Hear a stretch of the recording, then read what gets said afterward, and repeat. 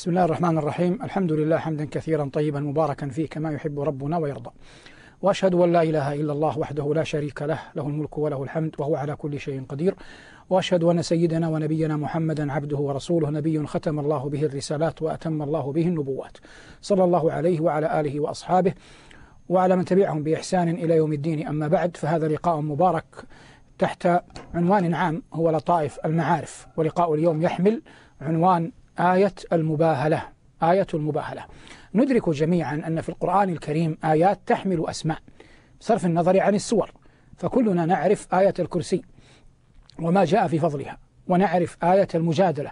قد سمع الله قول التي تجادلك في زوجها. ونسمع بآية المداينة. يا أيها الذين آمنوا إذا تداينتم بدين إلى أجل مسمى فاكتبوه. ونقرأ عن آية السيف. فإذا انسلخ الأشهر الحرم فاقتلوا المشركين. هذه كلها آيات حملت اسما أو صفة معينة. من تلكم الآيات التي حملت اسما أو صفة معينة آية المباهلة.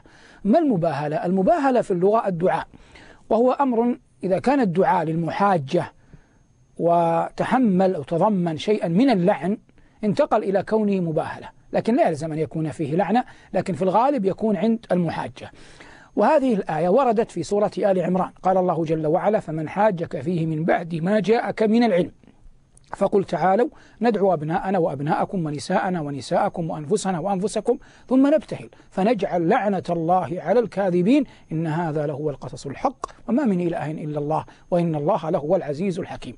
ما سر هذه الآية؟ هذا ما نحاول في هذا البرنامج لطائف المعارف في هذه الحلقة بالذات الموسومة بآية مباهلة أن نميط اللثام عنه. النبي صلى الله عليه وسلم أنزل عليه القرآن.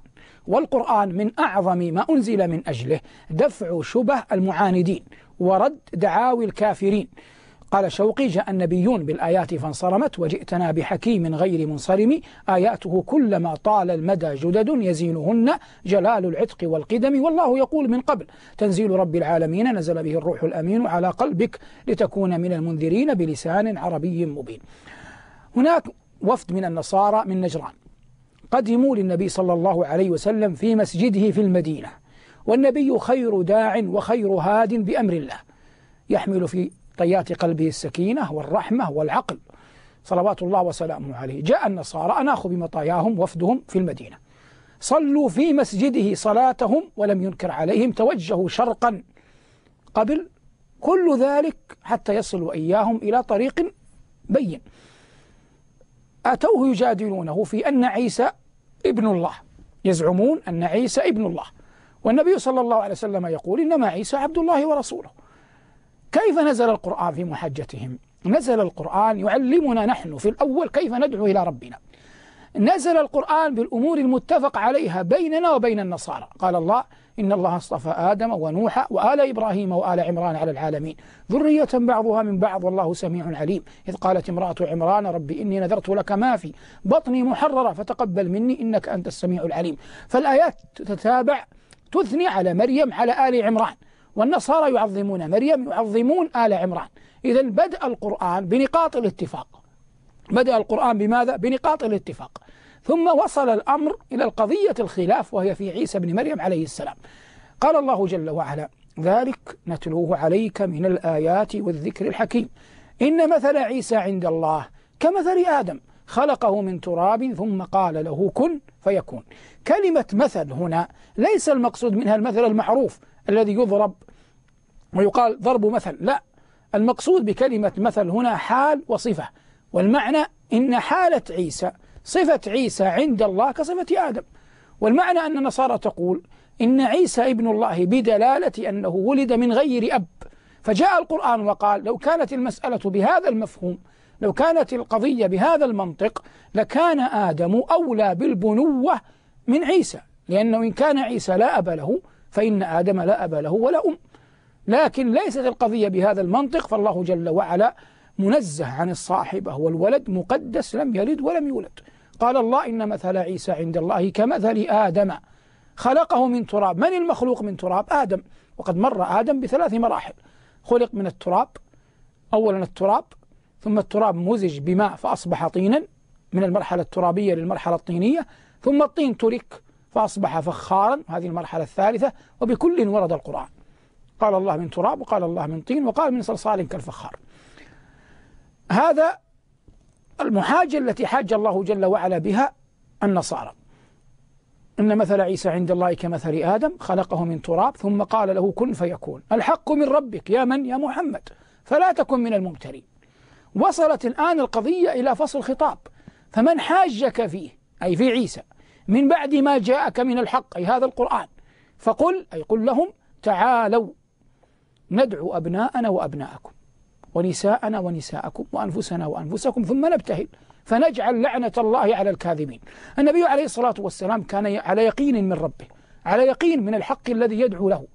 وفاطمة أحب بناته إليه وعلي زوجها. فدعا صلى الله عليه وسلم فاطمة وعليا والحسن والحسين هؤلاء كم؟ أربعة.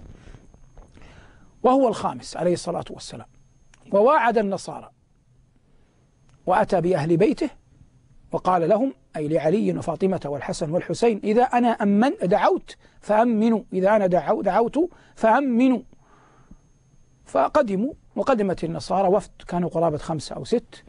فلما رأى ذلك الوفد وكان عندهم شيء من العلم النبي صلى الله عليه وسلم والوجوه الطاهرة التي معه وجه فاطمة وعلي والحسن والحسين قالت النصارى بعضها لبعض إن هذه الوجوه لو سألت الله أن يزيل الجبال لأزالها لو سألت الله أن يزيل الجبال لأزالها فامتنعوا عن المباهلة. فامتنعوا عن ماذا؟ عن المباهلة. قال الله فمن حاجك فيه من بعد ما جاءك من الحق فقل تعالوا ندعو أبناءنا وأبناءكم ونساءنا ونساءكم وأنفسنا وأنفسكم ثم نبتهل فنجعل لعنة الله على الكاذبين. فخرجوا من عنده من المدينة واتفقوا معه على صلح وعلى أن يبعثوا له كذا وكذا مما اتفق عليه النبي صلى الله عليه وسلم مع هؤلاء القوم أو الرهط من النصارى. هذه الآية أيها المبارك لها فوائد لها دلائل. من أعظم ذلك فضيلة هؤلاء الأربعة. والنبي صلى الله عليه وسلم ثبت عنه أنه جلل أي غطى الحسن والحسين وفاطمة وعليا بكساء. وقال اللهم هؤلاء آل بيتي فأذهب عنهم الرجس وطهرهم تطهيرا. اللهم هؤلاء آل بيتي فأذهب الرجس فأذهب الرجس عنهم وطهرهم تطهيرا. فآل بيت رسول الله صلى الله عليه وسلم لهم مقام عظيم. وأهل السنة سلك الله بنا وبكم سبيلهم لا يغلون فيهم ولا يجفون عنهم وهذا هو المنهج الحق. لكن ليس كل الناس يصنع هذا. فمن الناس من يدعي أنه من أهل السنة أو هو من أهل السنة حقا لكن فيه جفاء لآل البيت. ومن الناس من يغلو فيهم ودين الله بين الجافي عنه والمغالي فيه. وأحمد بن محمد رحمة الله تعالى عليه الإمام المعروف فقهيا وسنيا رابع الأئمة الأربعة ظهورا جلده المعتصم وآذاه. والمعتصم من ذرية العباس ابن عم رسول الله صلى الله عليه وسلم. ومع ذلك كان يقول عفى الله عني وعن المعتصم. وجعلت المعتصم في حل. فيقال له لما تفعل ذلك يا أبا عبد الله؟ قال إنني لا أستحي من الله أن ألقى رسول الله صلى الله عليه وسلم يوم القيامة وبيني وبين أحد أبناء عمومته خصومة. إني لا أستحي من الله أن ألقى رسول الله صلى الله عليه وسلم يوم القيامة وبيني وبين أحد أبناء عمومته خصومة. ولا ريب أن أبناء العمومة من آل بيت رسول الله لكنهم ليسوا في منزلة علي وفاطمة والحسن والحسين فهؤلاء آل بيت رسول الله صلى الله عليه وسلم. وقد ثبت في المسند أن النبي صلى الله عليه وسلم قام في الليل فسقى الحسن ثم سقى الحسين يعني كلاهما يستسقي. وانظر هذا رأس الملة. وإمام الأمة صلى الله عليه وسلم. ومع ذلك لا يستنكف ولا يستكبر أن يسقي هذين الصغيرين عندما يقوم في الليل عطشا. فسقاهما.